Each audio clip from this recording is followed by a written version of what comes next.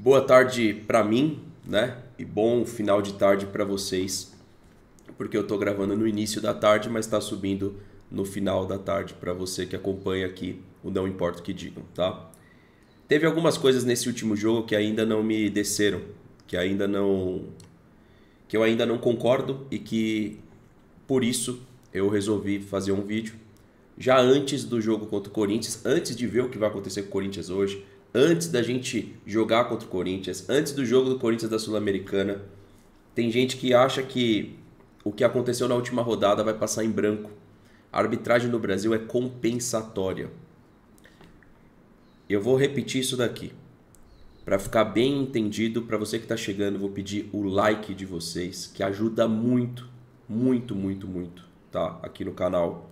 Pedir sua inscrição, ativar o sininho das notificações isso também é fundamental para o nosso crescimento, tá, rapaziada? Agora, a arbitragem no Brasil ela é compensatória. Ela não é justa. Ela nunca foi justa. Aliás, o futebol não é justo. Vivendo essa pauta aqui da segunda-feira do Vinícius Júnior, não tô aqui para defender cegamente que o Vinícius tinha que ser o melhor do mundo, mas o Rodri, hoje, todo mundo sabe que ele é um símbolo dessa campanha do calendário europeu encurtado, da carga de jogos, e justamente para ele vai o prêmio, que não foi o melhor jogador do meio-campo do City para mim, tampouco foi o melhor jogador, vai ser o melhor jogador do mundo, na minha opinião. Pode ser que dê para ele aí, mas esse é o ambiente do futebol, é uma sujeira, uma sujeira. Agora, vamos lá com imagens agora, porque essas imagens elas não são protegidas de direito Porém, eu vou dar os créditos, obviamente, que é parte do nosso trabalho aqui, tá bom? Vamos começar com essa imagem do Carlos Daniel, da BTB Sport, lá do pessoal do Rayan. Um abraço pro pessoal da BTB aí. Vamos analisar o que ele disse aqui e que se você tiver com a veia clubista ligada, você vai discordar. E agora eu vou falar para você. Comece a exercitar deixar o seu clubismo de lado quando a gente vai comentar temas delicados sobre futebol. Você vai crescer como ser humano, tá? Vamos ver o que, que o Daniel falou aqui, ó. Amarelo, por causa disso aqui. Ele empurrou o Pikachu, né? Ao ponto do Pikachu bater a cabeça na câmera e se machucar. Óbvio que a intenção do Everton não era essa, né? Machucar o Pikachu, sendo que a partir do momento que ele empurra, ele está disposto a isso, né? e até sem querer também é falta. Eu acho que ele deveria ter tomado pelo menos um cartão amarelo ou vermelho depois. Vendo o lance agora, eu vou deixar de novo para vocês analisarem. O Everton foi um imbecil, essa é a verdade. Ele teria que ter tomado o cartão vermelho sim. Ele não tem culpa do cara bater a, a cabeça no microfone, talvez a gente pode discutir, o microfone era para estar tá ali, mas eles colocam o microfone ali. Mas é a atitude, depois você vê o desespero, né? Pra que, que eu empurrei o cara? veja com calma, presta atenção. Isso aqui. Olha só o que, que o goleiro do Palmeiras fez com o Iago Pikachu. Empurrou ele aqui na hora do gol do Fortaleza. O Iago bateu a cabeça aqui na câmera e cortou o supercílio. Ou seja, viram? Vai, vai falar para mim agora, você palmeirense que tá aí. Gol do Fortaleza. Se não foi uma atitude. Deixa eu só achar aqui o outro vídeo.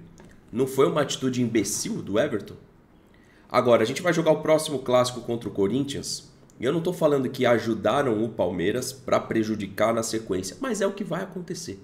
Eu estou avisando antes, na segunda-feira da próxima semana, se a mãozinha do árbitro tiver que apitar e pesar, vai pesar para o lado corintiano que briga para ficar na Série A. O que, que o Corinthians e o corintiano tem a ver com isso? Nada. Vamos voltar ao início do vídeo.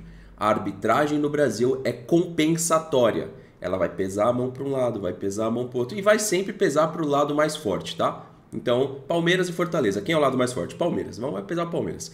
Interesses: Palmeiras e Corinthians. Quem a CBF quer ver o Corinthians na série, na série B? A Globo quer ver o Corinthians na série B para despencar sua audiência? Não. Então vai pesar pro lado do Corinthians dessa vez, tá bom? E é assim que funciona. Quase sempre é assim que funciona. Rodada lá do começo do campeonato.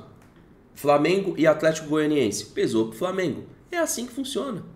Aí, aonde que talvez tenha um equilíbrio? Palmeiras e Flamengo hoje, hoje em dia, Palmeiras e Flamengo, Botafogo, Flamengo, Botafogo, Palmeiras, aí o Corinthians com São Paulo, aí essas coisas, sabe? São Paulo no Morumbi, vai, né? Palmeiras no Allianz. Aí o São Paulo já foi beneficiado na Copa do Brasil. Aí muitos falam que o Palmeiras também já foi beneficiado outras vezes contra o São Paulo. Então, essa essa compensação não é uma arbitragem justa. Eles não estão ali para serem justos. Eles estão ali para ficarem compensando os erros. Eu não sigo, vocês vão perceber aqui, mas eu vou dar os créditos ao conteúdo pro Simon. E, cara, eu não discordo dele. No começo, eu tava achando uma coisa, hoje eu já acho outra, tá?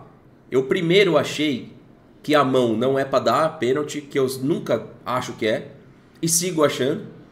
E, a, e agora olhando o lance mesmo de novo do Lopes, assim como, deixar isso claro aqui, assim como o lance não só do Lopes, do Gerson não foi pênalti. Não foi pênalti. Nessa rodada a gente teve quatro jogos com problema de arbitragem, mas aqui o nosso foco é Palmeiras. Muitas vezes a gente deixa para lá os outros jogos. Tiveram quatro jogos com problemas gritantes e você vê o afastamento né, em massa da arbitragem aí, que teve ontem ainda. Então, voltando aqui, os créditos para o Simon, veja só o nível da arbitragem.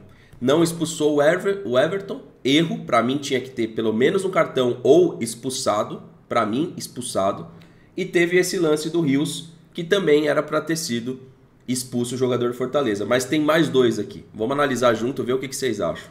E dá chama o velho. E aí, rapaziada? Palmeiras e Fortaleza empataram em 2 a 2 E teve um pênalti mal marcado. Cara, o dia que a gente começar a defender que isso aqui é pênalti, cara, a gente realmente tá doente pelo clubismo, mano. Porque se isso acontece lá no clássico contra o Corinthians, com um zagueiro nosso, como já teve um lance similar do Rocha, e vocês lembram, né? qual foi a nossa opinião. Quem começar a defender isso aqui como pênalti, não precisa ter VAR. Eu, na minha opinião, não precisa ter VAR. E quem não tiver a coragem de admitir que isso aqui não é pênalti, seja dado para si ou para o adversário, sei lá, eu, eu estudo, eu, eu indico trocar de esporte. Porque a gente não pode defender que uma bola que está vindo na cara do cara ou na parte íntima, que ele vai tentar se proteger e essa bola pega aqui. Falar que isso gerou uma van. Não, não, não, mano, na moral, eu não consigo nem comentar esse bagulho. Me desculpa. Eu não consigo nem comentar um negócio desse. Porque eu analisaria da mesma forma se fosse Corinthians e Palmeiras, Palmeiras Corinthians, Flamengo e não sei o que. Qualquer jogo, isso aqui não é pênalti, cara. Isso aqui não é pênalti, cara. E eu vou te falar a verdade. Para o senhor Abel Ferreira, foi muito bom ter tido esses dois pênaltis porque livrou ele de mais uma derrota para o Fortaleza. Porque o Palmeiras não construiu nada nesse jogo e ele ainda quis passar uma narrativa na coletiva que teve muita construção. Foi um jogo sem meio campo para os dois lados. Poderia ter ganho o Palmeiras, mas muito mais poderia ter ganho o Fortaleza, que construiu seus, seus gols sem precisar de bola parada. Porque pênalti é bola parada. O árbitro não marcou no campo, o VAR interveio equivocadamente e ele voltou apontando para a marca da Quantos quilômetros por hora tá essa bola? Quanto? Não sei. 60, 70, 80? Porque é uma bola de tiro curto. Não sei se dá para atingir essa velocidade. Mas quantos quilômetros por hora tá essa bola? Qual a distância entre o batedor, o Caio, e o defensor? Dá pênalti? Então, cara, eu sugiro aos jogadores do Corinthians, comecem a chutar a bola na direção ali, no clássico, que uma hora vai bater na mão e vai dar pênalti. Por isso que eu tô te falando. A gente está emporcalhando mesmo o esporte, defendendo que isso é pênalti. Porque é muito mais fácil pro lateral a partir de agora e pro batedor ali, fica chutando, porque vai pegar na mão. Vai pegar. Vai pegar. Porque a mão faz parte da nossa envergadura natural ali, do atleta do futebol. Você não vai esconder a mão para trás. Você não vai conseguir fazer isso. Porque se você ficar também pondo a mão para trás, na hora que um, um atacante botar a bola, você não tem reação. Então, se o jogador ficar com a mão para trás numa jogada de linha de fundo, ele vai tomar um drible. Você imagina se os marcadores do Estevão esconder a mão para trás? Ele vai dentro do gol. Quem defende isso aqui como pênalti, não... desculpa, tá? Você pode discordar aí que eu quero ler o que vocês estão discordando, mas quem defender isso aqui como pênalti não entende absolutamente nada de futebol. Absolutamente nada de futebol. Calma. Notem vocês, Jogador do Palmeiras chuta de fora da área e o do Fortaleza, que está dentro, ele tenta recolher os braços para se proteger e a bola toca nos seus braços. Não é gesto antinatural, não é mão deliberada, portanto, não é pênalti. E neste lance, numa disputa de bola, o jogador do Palmeiras cai dentro da área. Mas não há infração. Há um contato de jogo. O jogador do Fortaleza não empurra o adversário com o braço. Olha a posição do braço dele. É um contato e luta por espaço dentro da grande área. Isso não é pênalti. Teve gente que estava defendendo esse joelho ali embaixo, mas note, o Flaco não cai pelo joelho, ele cai pela mão. E aí depois é que a careca do Simon aqui esconde, tá? Mas depois há um contato embaixo. Então, só deixa rolar aqui o lance, ó. Ele não cai pelo contato do joelho. Ele cai pelo contato, ó, de cima. Aí depois há um tranco embaixo. E aqui é o lance do Rios, que obviamente também não precisa ser especialista para falar que essa agressão, independente da intensidade dela, assim como eu defendia do Everton expulsão, aqui também era para expulsão. E aí sim, o VAR não interveio. Deveria ter entrado em ação. O jogador do Fortaleza dá uma bofetada nas costas do palmeirense. Isso é conduta violenta e cartão vermelho. Errou a arbitragem em não expulsar o jogador do Fortaleza. Pois bem, meus amigos, não sei qual é a opinião de vocês, mas esse é o nosso campeonato. Esse é o futebol brasileiro. E você aí já se prepara para o que vai ser clássico Palmeiras e Corinthians, tá? Corinthians e Palmeiras. Vai pesar a mão pro Corinthians, eu tô avisando uma semana antes.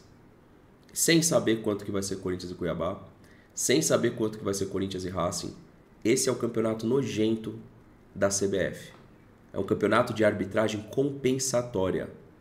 Compensatória. E não de arbitragem profissional, tampouco achar qualquer tipo de justiça. Me apegando naquele vídeo lá do Donati que eu mostrei no meu último vídeo, muita gente deve estar se perguntando assim, mas por que esse vídeo hoje? Porque a gente não precisa falar sempre no hype. Né? A gente não precisa. Vocês podem perceber que eu sempre programo os vídeos para determinados horários. A gente não precisa estar tá no hype do assunto, a gente precisa analisar ele da melhor forma. Tá? Eu não acredito que o campeonato seja encomendado para alguém, para o Botafogo ou tão pouco como foi para o Palmeiras ano passado. Eu acredito que a CBF direciona como ela quer. E sempre foi assim. Antes de ter VAR, antes de ter esse show de câmeras, antes de você ter câmera lá na arquibancada, porque você tem hoje uma câmera em mãos, hoje você tem aí é, o meu celular com câmera que filma a lua, né? Consegue gravar fotos em qualidade da lua. Você imagina quantos, quantos vezes essa câmera não chega do iPhone 15? Hoje você é um câmera ali, você é um VAR. Você é um VAR portátil ali na arquibancada, se você quiser. Entendeu? Não sei como é que ainda não, não surgiram influenciadores, né? Fica até a dica que vai para o estádio e realmente começa a destrinchar as mentiras ali das linhas de impedimento. Precisa de você, guerreiros. Né? Quem fizer isso daí vai ter uma fama muito grande no nosso campeonato. Vai começar a mostrar muita coisa errada que tem nas câmeras de impedimento e que tem desde o ângulo ao traçado. Você que está ali na arquibancada, talvez você esteja num ângulo bem privilegiado para desmentir essas coisas. Vai aparecer, cedo ou tarde vai aparecer alguém fazendo esse trabalho, se é que já não tem e eu não sei, né? Talvez eu, não, eu ainda não tenha pego. Então, meus amigos, é assim que a gente abre a segunda-feira, tá?